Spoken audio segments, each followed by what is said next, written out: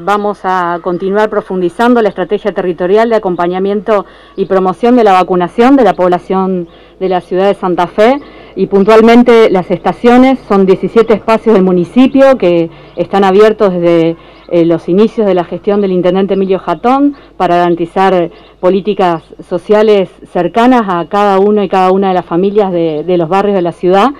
y en este sentido, y en función de los diálogos y el trabajo permanente articulado con el Ministerio de Salud de la provincia, se va a profundizar la estrategia de ir a buscar a las personas mayores con comorbilidades y también a jóvenes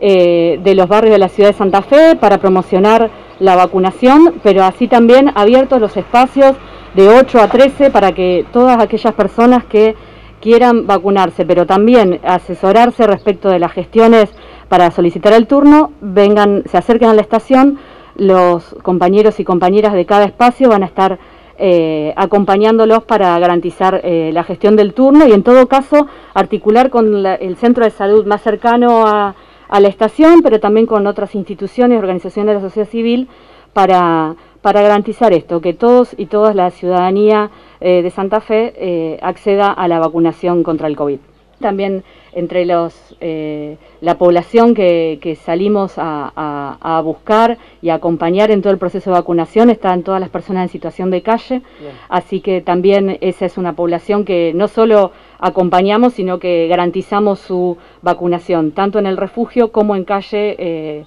con los equipos del Ministerio de Salud.